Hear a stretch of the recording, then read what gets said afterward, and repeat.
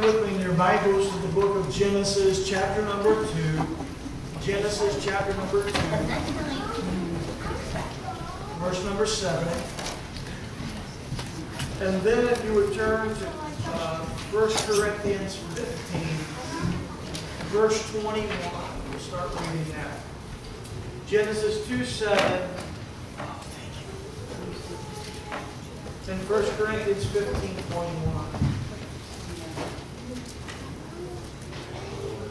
Amen. I, pray that this will be a blessing to you and will be a challenge to you as well. I love when the Word of God challenges us. Praise God. Genesis 2 7, the Bible says, And God formed man of the dust of the ground, and breathed in his nostrils the breath of life, and man became a living soul. God breathed into his nostrils the breath of life, and man became a living soul. 1 Corinthians 15, verse number 21.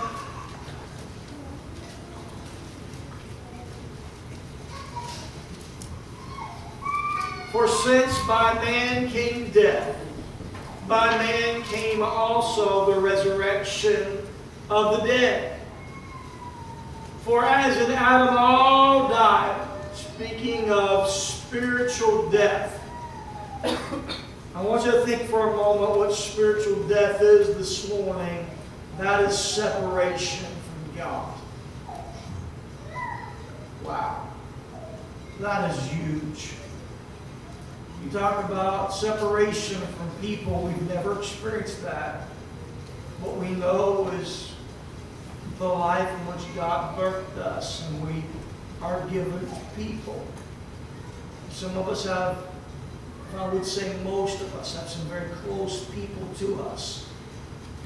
So death becomes a painful thing when those folks that are close to us are, are gone. But can you imagine that spiritual death when you are separated from God? That is spiritual death this morning. By man came also the resurrection of the dead. I want us to think this morning of a few things, and I pray that the Lord will help us challenge your heart and your mind. But one, one of the ideas of the soul, uh, when we think about the soul, it fascinates men. Think about what the soul does. It, it's the religious conviction. Uh, uh, think of the origin of the soul. Think of uh, all the debates that have been because of the origin of the soul, that emotional part of us, the will. Uh, that where did that come from? Where is that birth from? Uh, where does it come? There's been many debates, and most of all, I believe that when we look at it from a humanistic side, the debates become cloudier and muddier as the water is churned up by the debates of where the soul came from. But I believe the quandary, the wonder of it all can be answered when we look at the pages of the Word of God. There can be definitive answers that are given to where did the soul come from. And uh, uh, not only a glimpse, but I believe that, that we can uh, gain uh, infinite knowledge soul. Did any ever go by a rippling brook before and you look and you see your reflection in that brook and, and, and the ripple of it, maybe it'll twist your face and belong at your face. Maybe it'll give you wrinkles that you never knew that you had. And you look a little bit farther and you realize that it's you. And as you look at it, maybe there's even some questions about what do I look like? Uh, as you look at the rippling of yourself. Well, I believe the Word of God, when we look at the soul, takes away the ripples, takes away the belongingness, uh, takes away the uh, uh, cloudiness of it, and it gives us some definitive answers to, to the soul. And uh, we look and we find that, that Moses gives us an account of creation. He gives us the trees and the herb and, and the food that is for man. Uh, he gives us ideas into the color of the world. He gives us all these species of the fish and uh, even some mammals that live in the water. And he tells us everything everything about that that lives in the ocean. He tells us about the birds that fly in the air, and even birds that, that never will go into flight. God, Moses gives us information into that. Amen. All sorts of land animals and, and that of the reptiles and the insect. And then Moses tells us some details about man. That very first man, that man named Adam. And so God created uh, the one and only man, and his name was Adam. And uh, to, to find out more details of the soul, Sister Dot, we have to begin to read more of what Moses gave us in, in that book of beginnings, in the Pentateuch, and, and in that book of Genesis. When God created the world by His spoken power, He, he, he spoke into existence everything round about us. But can I say it this way, Brother Eli, when God created man, he got dirty. He got dirty, Sister Tina. He got down in the dust of the earth. And he began to form man. But I want you to think about a few things, and I'm not going to get greatly scientific, but I want you to think for a few minutes as I lay a basis. God began to create organs. And God created a circulatory system. And God created a respiratory system. And God created a digestive system. He ingeniously fashioned everything about man. And then he created, Terry, this skeletal system that would support man. I mean, it's crazy, amazing. When you think about our bodies and how God created it. Then he takes and he creates not only the skeleton system, but he puts the muscles in there, and then he creates joints. The parts move. I mean, it's crazy. Maybe some of your parts don't move as good as they used to, but they still move, right? I mean, they move, and, and God did all this. And, and, and then eh, he, he takes it, and, and behind this torso, he puts the spine that, that bends and flexes, that it's able to lift. And then he creates this body that when I look at you, he even created you in such a way that you can smile.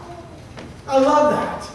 I love that when I'm, I, I, I, I, come across someone and, and they smile because God created that ability to smile. And then He puts a little twinkle in an eye, and then He gets, a he gets so creative that He helps us be able to blink. Not know that there are many scientific reasons behind that. I, am not going there and I couldn't go there even if I wanted to. And then he takes all these systems and he correlates them with this one system called a nervous system. And this whole nervous system correlates with the whole body and all the other systems. And he puts them together. I mean, how amazing is that that God would do that for you and I? But here it is that that with all this creative genius that God does, and uh, everything that he invested it, still man lay there in the dust, and, and, and, he didn't do anything. He just lay there. There was no life, for Brother Walt until all of a sudden that God not only gets dirty, but He breathes who He is into mankind. And He breathes the breath of life into Adam. Amen. And there's, there was no personality, there was no self, there was no desire, there was no delight, there was no passion, there was no personhood, there was no hunger, there was no, no, no blood flowing through his veins. Amen. Now Adam had need of something. He needed a soul. So God breathed into him. How awesome. How awesome.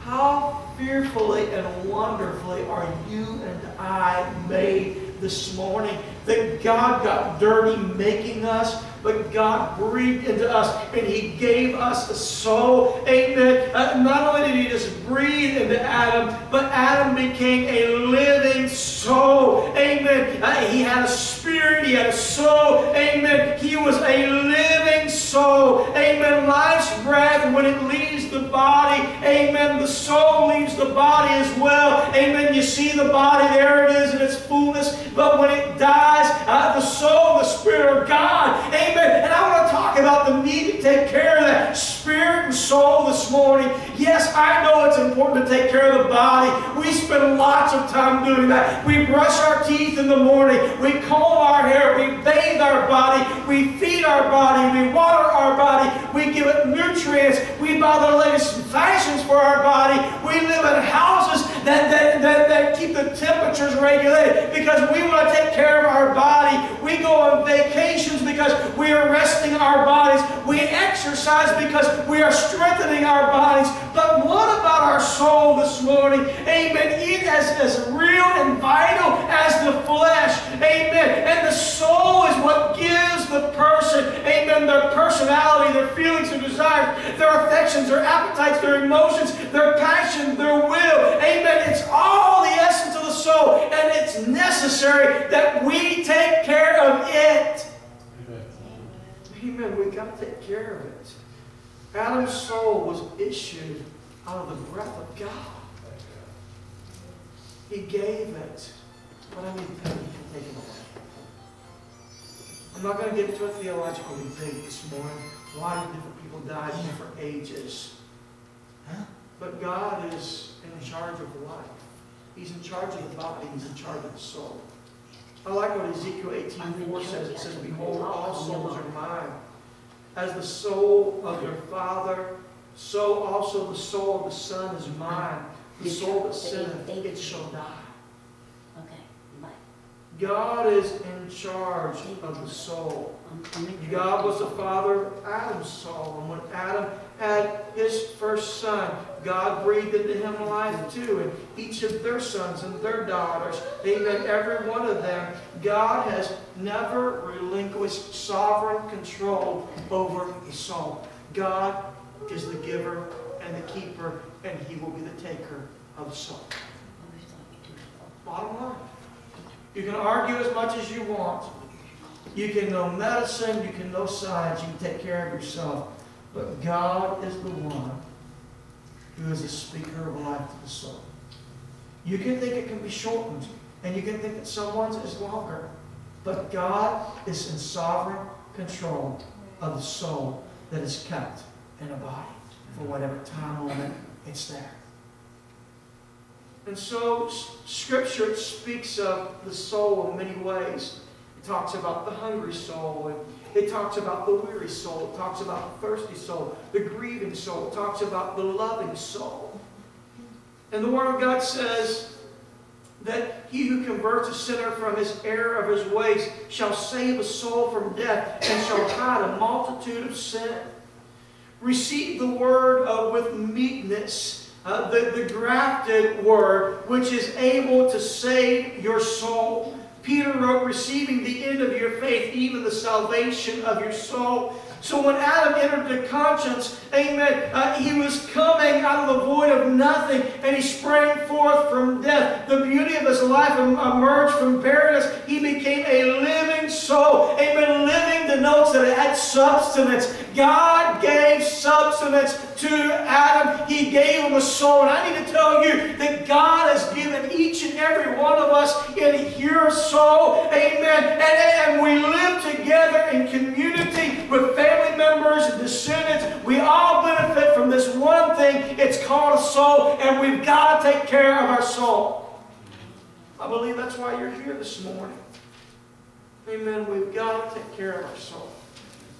We inherit a lot of things. We inherit a lot of things from our parents.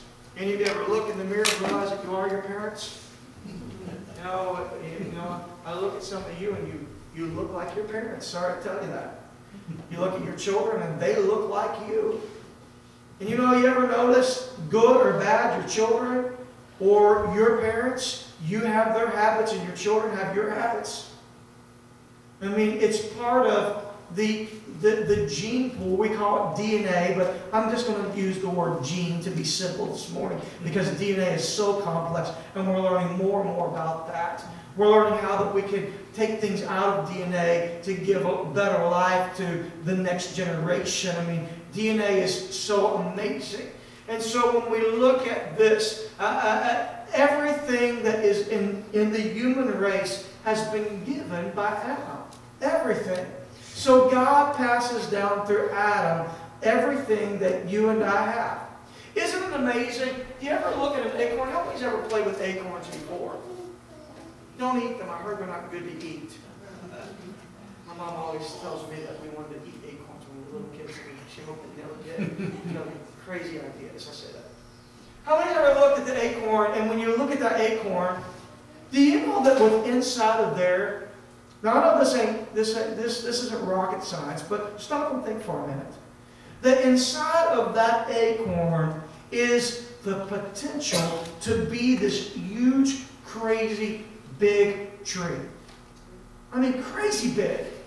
Crazy big. And inside of that acorn, there is a certain type of bark, and there's a certain type of leaf, and there's a certain type of, uh, of grain that will be in that. Everything about that tree, the potential is in that acorn. I, I mean, think about it. Amen. I, God allowed that in Adam, amen, he would take one life and desire would be passed on. There would be wills that would be passed on. There would be emotions that would be passed on. There would be breath that would be passed on. There would be one blood type, amen. There would be a nation that would be passed on. There would be cultures, and at the same time, they're all from one. You look at in, in, in, in realness this morning, every one of us in here came from the same person, and that is Adam.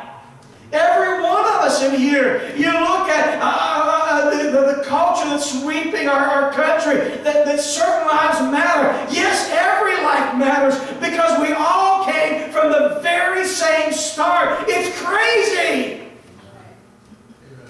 But it all came. As splendid as it is, every bit of our genes, our hereditary, was passed down. Every bit of information that is in our DNA has been passed down from Adam. It's passed down from our moms and our dads. Our human traits, our talents, our gifts, our abilities, uh, the distinguished uh, uh, qualities that, that make our genetic makeup, it's all passed down. And it's all from Adam. Every talent, every gift, every craft, every endowment, every expertise, every intelligence, every ability, every power.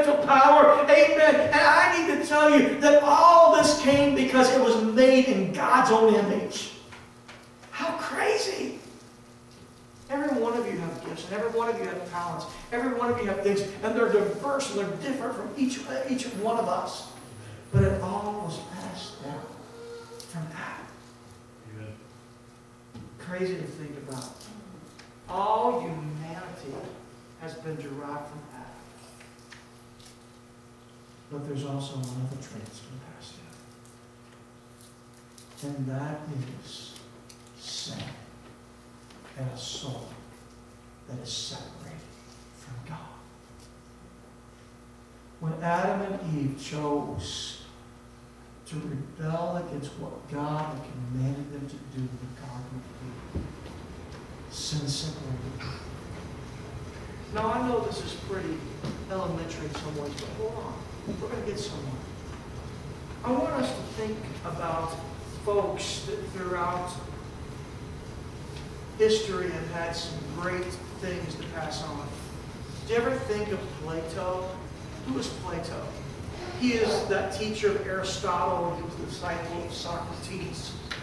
He has philosophies that we even use today. Uh, his impact upon philosophy and political theory is still being studied and analyzed today. He was able to analyze, he was able to uh, explain problems and values and the disciplines of logic. And I need to tell you, as brilliant as he is in his brilliance, he could not save his own soul. He inherited a lot of good things. He inherited some good things, Brother Josh, from some genes that was passed down to him. But he was not able to inherit, Sister Dot, an intelligence that would be able to save his soul. Think about Michelangelo. He was an artist and he was a sculptor and, and, and he was an architect. He had one of the greatest influences on the world that we know of as art. Think about the Sistine Chapel in which it was two to 12,000 square feet and it took him four years to paint the beauty upon that that. I think about how that he painted the Lord's Supper. He sculpted sculptures uh, uh, uh, of David and of Moses. Uh, but yet in all of his talents and all of his accomplishments, as much as it still entertains people today, he still did not have the ability to entertain God in his very soul. He inherited a lot of things in his DNA, but he did not inherit an ability to entertain God who wanted a relationship with his soul. Interesting. I look at William Shakespeare, think about Macbeth. I remember that. That, that, that was probably one of the, uh, the greatest, uh, for, for me, one of his pieces that he wrote. I studied in high school. Still remember that as complex and as crazy as it seemed. Think about Romeo and Juliet. Uh, think about how that he, he made uh, an impact on, on history because of, uh, uh, of his being able to be a, a, drama, a drama enticer, if you would, a poet. But in all his dramatic still could not entertain God to have a relationship with soul. I'm talking about DNA that's been inherited. I'm talking about talents and ability. But yet, we still inherit the problem that the soul will die separated from God because we inherited it from our father Adam. Think about a man named Ludwig Beethoven. I mean, he wrote masterpieces that they still play on the piano and on the violin. Uh, in his time, he was such an influential and a respected composer. Uh, but musically, amen, he could not even in music, as wonderful as it is, Think about it. It does affect you. Uh, my wife sings this little song to our girls at night, all night and all day. Angels watching over you. Yesterday, I, while my wife was at work, I was taking care of the girls. They were rocking their babies. Sister Tina taking care of them. I looked over and little Brenda, she was singing all night, all day. She was singing it. She didn't know all the words, but she was singing it to her babies because music impacted her. You think about it. You hear a rhythm and you won't be able to get it out of your head. It'll be stuck there. You hear a song and all of a sudden maybe a song from years ago, but you can uh, begin to, to, to, sing the tune of it and the words. Uh, you think about it. But Beethoven and all this musical ability could not develop a relationship with him and God. Albert Einstein, think about him, that theoretical physics, uh, who, who, even today we use as, tech, uh, as, as research in modern technology, particularly when it comes to, uh, to radiology. Uh, he gave us uh, great things. He won the Nobel Peace Prize in 1921. But in all this theology and all this rhetoric and all this study, he could not breach the relationship that was between his soul and God sports stars will come and go. Every NFL player, every Olympic player, every NBA player, every boxing champion and basketball champion that ever will be, and their sprint speed and their strength and their coordination, there must have been something they inherited from their parent. But in all their speed and strength, they cannot reconcile relationship between their soul and God think about Bill Gates, we think about Warren Buffett, we think about Jim Walton and all the Michael Bloombergs that are the billions of dollars. And if we combine them together, they still could not buy right relationship between soul and God. So everything, Sister Bev, that's been inherited, there's a problem. The sin nature that is inherited does not have a solution the Bible says God sent forth the second Adam. the second Adam. The second Adam. The Bible says that, that Adam was made a living soul, but the second Adam, he was made, Brother Craig, something different. It was called a quickening soul. It means that he would be able to bring alive and, and the destiny that the first Adam brought and all the DNA that's been passed down to every one of us could not bring to us what the second Adam brought in that he gave his life for us. Amen. Nicodemus came to Jesus by night. He said, Rabbi, Master, he said, I know that you are you, you, you, you are of God. Can you tell me what must I do to inherit eternal life? And Jesus spoke to him. He said, Except a man be born again of water and of the Spirit, he cannot enter into the kingdom of God. I need to tell you that as good as you are, we are waging a war like never before in our culture that folks believe that they are good, that they have the DNA, that they have the stuff, that they will make it to heaven. You can be smart, you can be rich, you can be talented, you can be crafted, you can be gifted, but you will still die and go to hell because there's nothing you can do. own soul. Oh, we need a Savior. We need a Savior. We need a Savior. So God sent the second Adam. So Jesus Christ, in obedience to God's will, he became self-sacrifice to reverse the condemnation that was given by the first Adam. Peter said, You must repent. You must repent. The necessary thing for salvation. Hey, listen. I need to deliver my soul this morning. You can come to Miracle Revival Church time and time again. But unless you repent and turn from sin, you will die and go to hell. That's a hard message to preach. That's a hard message to preach. But we're all one in Adam. We shared his disobedience. We inherited the curse that Adam had. But spiritually, the second Adam came to break the curse. But it takes a repentance and a turning from sin that will break the curse of sin and death. And will give life. And will give a life to the soul. Revelation 26 says of the second death, it will have no power over those who are in the second Adam, Jesus Christ. Those are my terminology words. To bring it home to you. I need to ask you this morning, how well are you caring for your soul? Sister Holly, if you'll come to the piano this morning. We are drilled in our culture to take care of ourselves. We're drilled with health screenings, from billboards that are advertised to our insurance company sending us mail flyers and emails and text messages. Amen. Take care of yourself. Be proactive.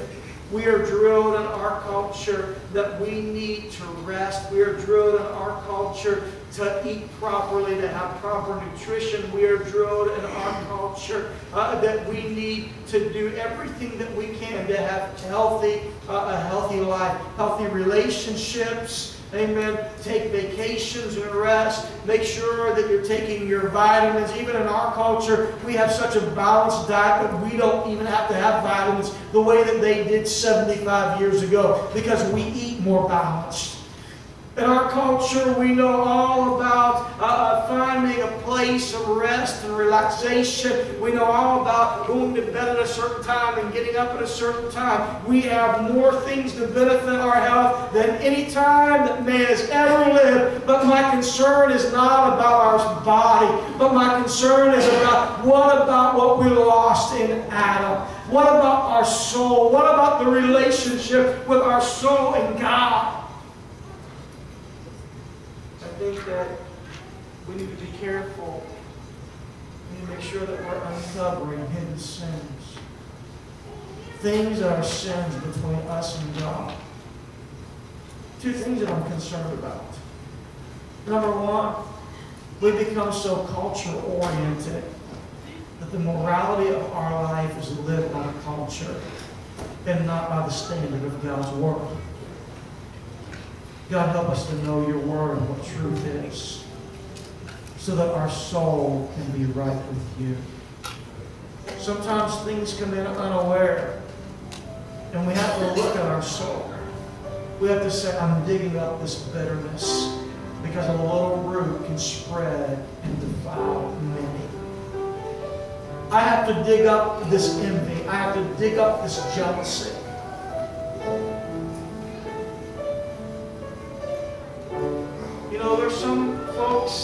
Look at, and you probably heard this term before, but there's some folks who live in toxic relationships.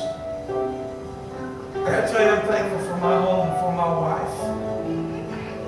Sometimes it can be chaotic, but not because we're arguing and bickering and fighting. Not because there's sin that's uh, running rampant in our home. Uh, some, some relationships are just poisonous. Some folks live in this